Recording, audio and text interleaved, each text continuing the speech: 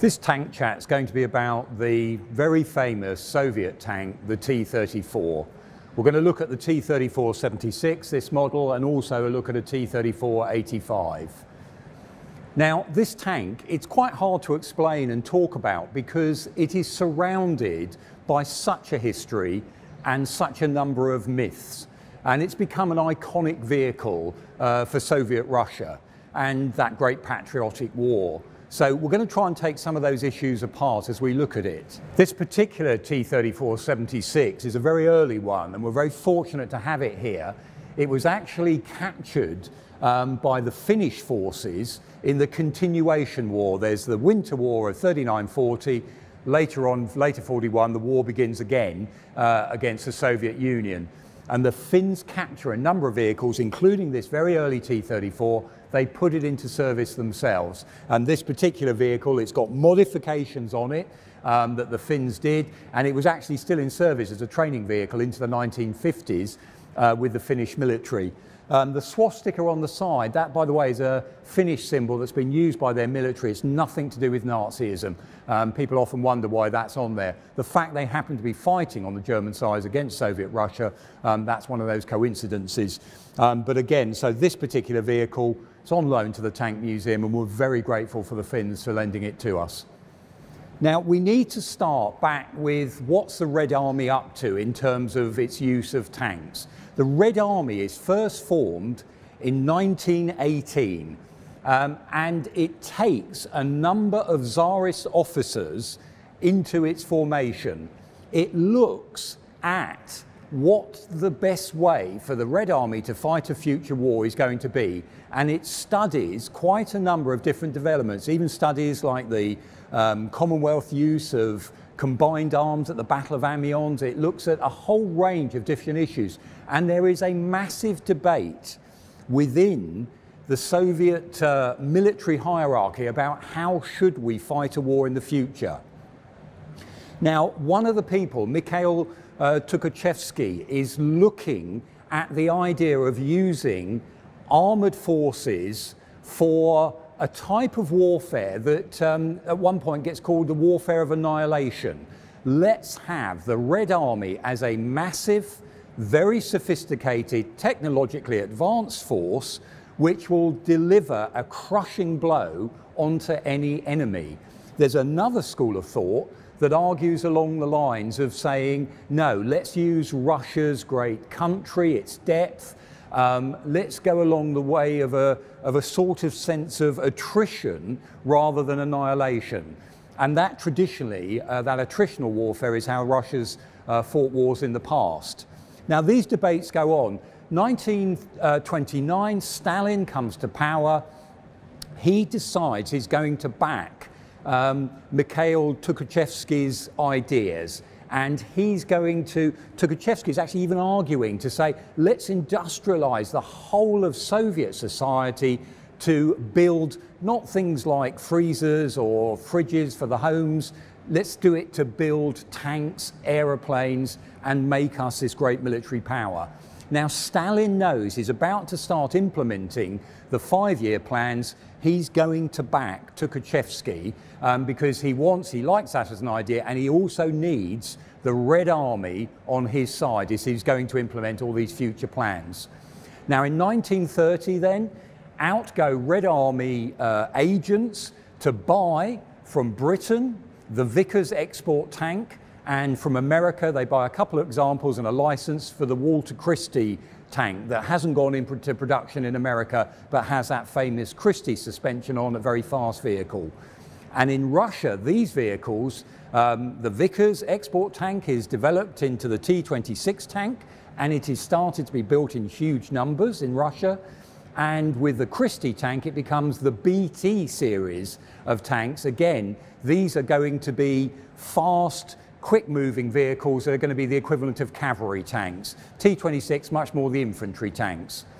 Now, those vehicles take time to build in the factories and Russia also has a problem of industrialization. That's why these five year plans. How do we actually push through an industrialization process? So, again, from America, um, the Soviets bring in uh, Alfred Kahn, who's an American designer of factories, and he ends up building huge numbers of factories um, to help the Russians build this new tank fleet. Uh, the famous Stalingrad uh, tractor factory is actually one of Alfred Kahn's uh, creations.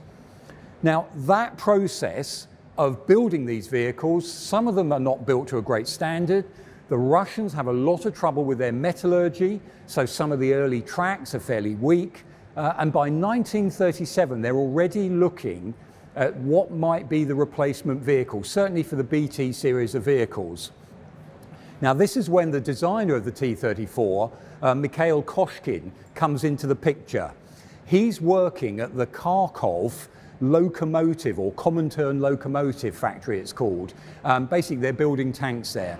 And he's set the task of can he build a replacement for the BT tank? And his first model that he comes out with is something called the A20.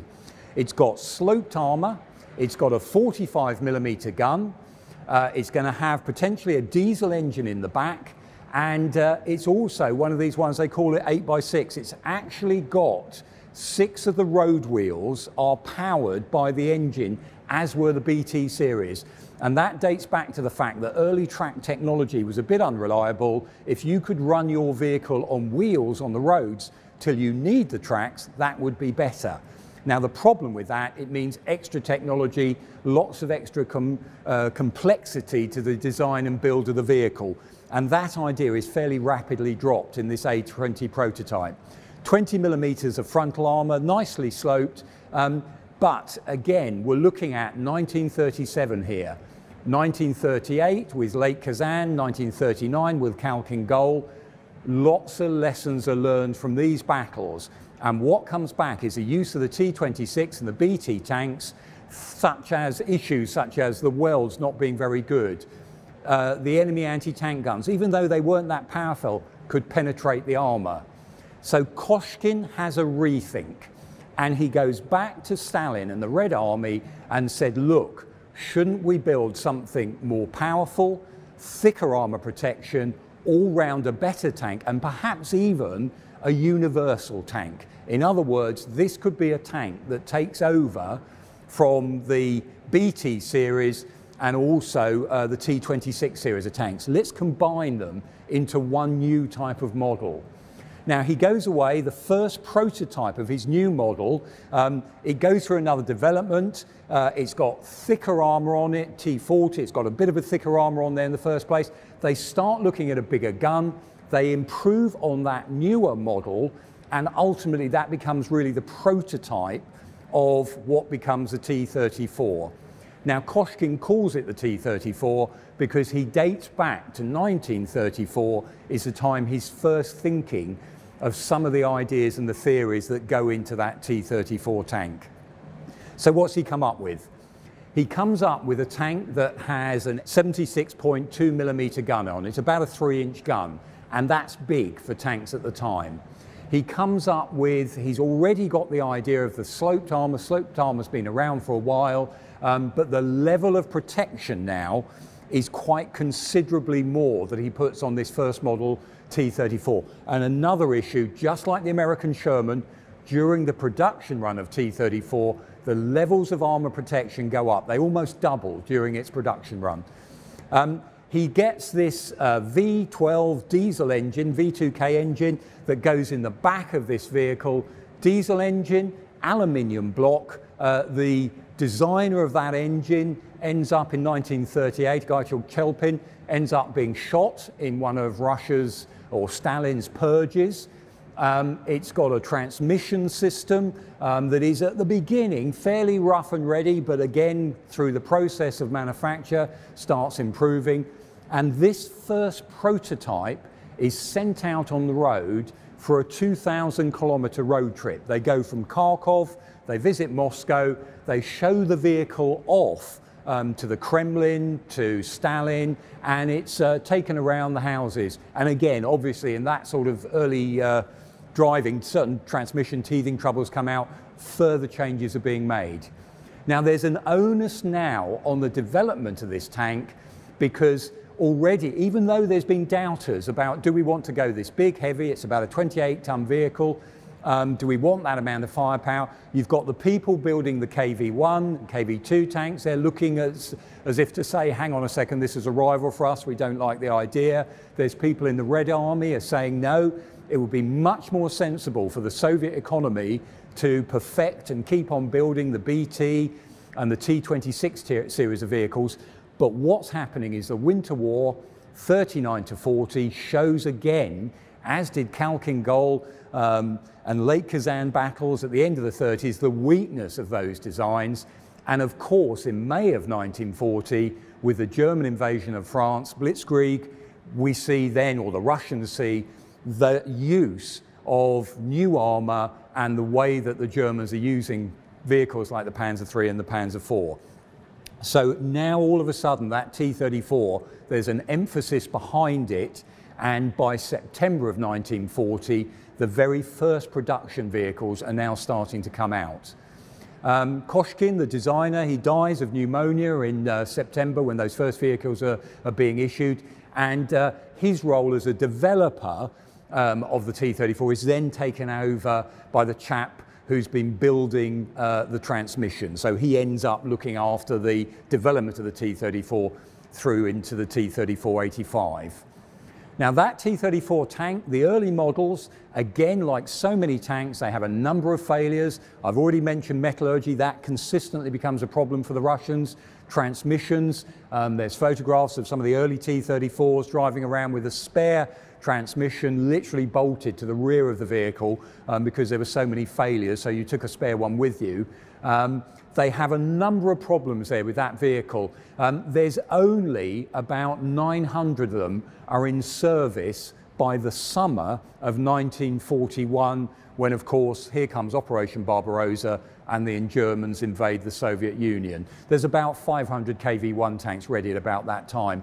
The vast majority of this enormous Soviet tank fleet at the time is still BT uh, tanks or um, the T-26 series of tanks in, in huge tens of thousands of numbers. Now, the Red Army that meets that German invasion in the summer of 1941 has gone through, in the late 1930s, a series of purges from Stalin. He's got rid of at least 35,000 officers. It's getting new equipment that's starting to come into service. Um, it has expanded massively and rapidly with this threat of a German war on the horizon. Originally, it was being built up much more along the lines the traditional enemy was going to be there, Poland. Um, then all of a sudden, Stalin has got his Molotov-Ribbentrop pact. He's done a pact with Hitler. Some say that's to bide him more time. Some say it's just naivety. Um, he's got an extra year or so. But that Russian army, it's described as a stumbling colossus. It is not in a very fit state to fight the war that it's coming its way, even though it's got some of these new vehicles coming into service. Now, this tank, the T-34-76, um, again, we hear great stories about it in terms of when the Germans first encounter it, they're absolutely amazed at the thickness of its armour, the power of its gun but tactically it's used very poorly by the Red Army. What tends to happen, and some of this is due to the design and the crew ergonomics of it, um, but these guys who are driving these vehicles have had very little experience on the vehicle. Command, control, and leadership is frankly abysmal at the time in the Red Army. And so, even though there's some outstanding examples of T 34s um, doing heroic actions, holding up um, enormous German forces, statistically, really most of them, about half of them, are breaking down before they even get into action. Um, and that problem is, as I mentioned, some of it as well is to do with the design. So, for example, when we look at this vehicle, the early model T-34s with that turret, um, that's a two-man turret. Now, I'm not that big a bloke, but I couldn't even fit my shoulders into that turret across the rear there. So how two guys are supposed to be in there, the commander and also the gunner is supposed to fit in that very tight space. You know, that is a cramped area there.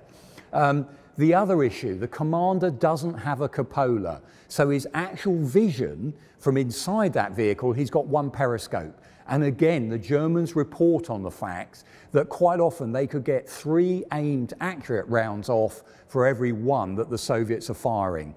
And only platoon commanders' vehicles have a radio. So these vehicles in a platoon are signaling to each other, either with flags, and as you can imagine under fire, the last thing you want to be doing is opening up your hatch and starting to do flag signals. So again, some of these early accounts, the Germans are reporting on these tanks almost following each other around, not being very tactically aware, not using the very thick armour that they've got comparatively at the time and their impressive firepower to great effect. Now, the early model uh, L11 gun, the 76.2 millimeter gun, um, a, a, design bureau, the Grabin Design Bureau at, uh, um, in, in Russia, is, ends up coming up with a better design. They call it the F-34 gun. Um, they are not given official permission to start producing this gun, but they go ahead anyway. And it's only because of the good reports on this newer gun with its better penetration that comes back from the front line that that starts being added to the 1941 model of the T34. So again, it's part of this story that as the T34 goes through its development, um, it goes through a number of changes. Now that gun firing an armor-piercing composite rigid round in other words, a slug of something like tungsten within a wider 76.2 millimeter sheath, that round could go through 90 millimeters of armor plate at about 500 meters. And you have to think in the summer of 41, um, if you're looking at the Panzer III and the Panzer IV, most of those tanks, maximum, you've got about 60 millimeters of armor. So that's a very effective tank killing gun early in the campaign. Um, we've mentioned about reliability, um, that diesel engine in the rear, um, wide tracks. Tracks, of course, the Russians know about Russian winters. And of course, there's not that many metalled roads, surface roads in Russia. So the idea of the wide track to spread the weight, and that engine gives this vehicle a power that can speed it up to about 33 miles an hour. So that's a good turn of speed for about what turns out to be a 28 short ton tank. Um, so it's still a fairly weighty tank there. Now, the German invasion in the summer of 1941 causes something that, again, almost adds this magic to the T 34 story. They've got to move some of the factories that are now making the T 34 out the way of the advancing German military and they take them back behind the Ural Mountains. And that means not only taking the machinery, taking bits of equipment, that means taking the engineers, the people that are manufacturing, men and women, are actually drawn back to re-establish their factories and keep this production going. And in that process, one of the things the Russians find is they say, look, we're not going to do anything to that vehicle unless, it, even though they know it's got weaknesses, unless it speeds production or it lessens cost because we need those vehicles now. Uh, the Russians in 1941, can you believe this is a figure? They lose 20,000 tanks in that German advance. They have a lot of tanks that they need to build and uh, they need to build quickly. So with that movement to the factories starts this process of things on the T-34 that were considered superfluous start getting removed and you get to the point that there's a, a certain point where some factories are, are, sending out these T-34 tanks without even a driver's seat in. If you want a seat, you fold up your greatcoat and sit on it. Um, so some of those vehicles are, uh, are different from different factories because of what's available to them at that time, but they're also, the Russians are realizing there's a lot of things that can go into a tank that if it's just, is it really necessarily number one, or can we simplify it?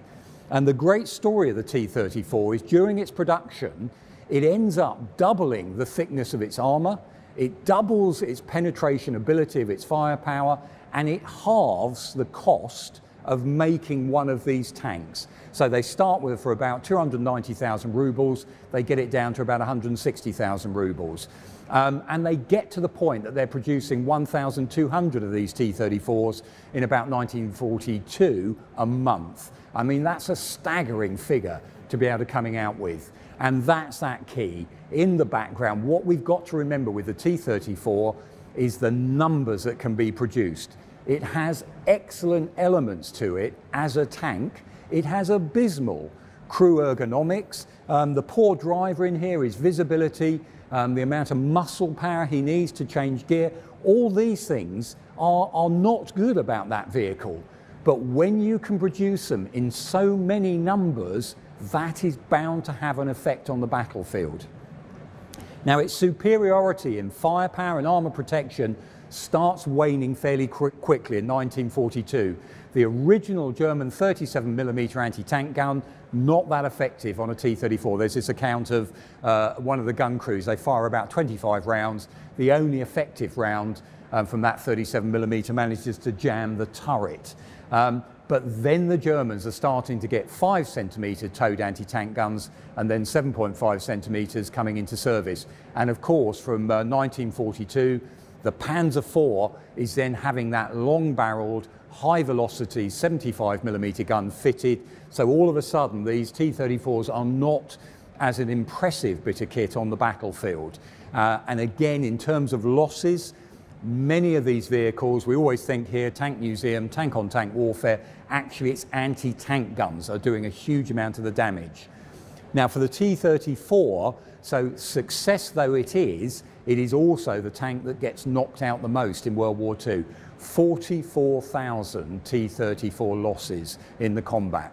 Now, some of those tanks are taken back to the factories, rebuilt, reissued. And that's another one of the issues because, as I've mentioned already, all the different factories are building to slightly different build standards, slightly different design parts. And of course, when we're adding up numbers, there's the other issue, which is these factories are also, they're doing new build, but also taking in damaged vehicles and they're added to the mix and then they go out again. So you'll see uh, it's almost hard to find two T-34 tanks with exactly the same design build um, because there's so many little alterations and changes and improvements. Simple things as well, like in that trying to make it simpler, get rid of the rubber on the tyres. Things like the F-34 gun starts off with over 800 component parts. They cut that down to 600 component parts. So again, that idea of simplifying the process.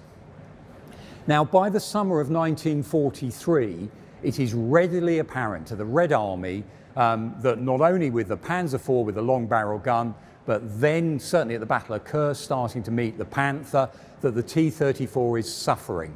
So they start a program for a replacement vehicle, and that's what we'll have a look at next. The realization that they're going to have to build a new tank leads the Russians to come up with a design that's called the T-43. Now, the problem with the T43, they've got some good ideas. Let's keep about 70% of its construction from parts that are already being built from the T34. The problem, though, is that when it comes out, it ends up being less mobile than the T34. And uh, even though it's got a new turret with a new 85mm gun on it, uh, it's not considered a success. Uh, and therefore they go back to the drawing board and have another look at the T34. Um, what that develops into is they realise actually we can enlarge the turret ring on the T34 from originally it's 56 inches, they take it up to 63 inches, and they take this new three-man turret that's been designed for the T43, adapt it and put it on uh, an enlarged T34 hull and that becomes the T-34/85, the 85 millimeter gun equipped tank. Now that process leads to the tanks going into service in about February of 1944. And when we look at the T-34-85, we're actually looking at a very different beast. Yes, it's a T-34 evolved, but at the same time, it's adding things for the crew that makes this a much better tank to be able to fight from. For example, the commander now in the top has his own cupola. Um, so he can look out all around rather than that one original periscope he was given. Um, the turret now has a turret basket. The original T-34 had no basket at all, um, ammunition stored on the floor uh, under rubber mats, you open the box, took out the ammunition, passed it up. Um, now with this vehicle, yes, ammunition still stored on the floor, but it's now got a turret basket, which means the crew can turn together. Uh, within the vehicle as well, other changes that go on. Um, we've now got a three-man turret. So three men, the commander now doesn't just have to command and man the gun, he can just be his what his real role is, looking out for targets, commanding the whole vehicle. That's important. Um, we get an increase in the ratio of radios. Not every tank gets one, but most of them now start getting radios. And that is fitted in the turret uh, in the T-34-85. The original fit in the earlier T-34 turret was on the floor of the vehicle. So again, access issues uh, for communications. Now this enlarged turret um, three-man crew, that loader is now being added there as well as the gunner. Um, so again, crew ergonomics better from the point of view of the workability of the vehicle. Uh, much of the hull remains the same apart from the addition of further thicker armour. So we're now up to about 90 millimetres of, of armour plate there.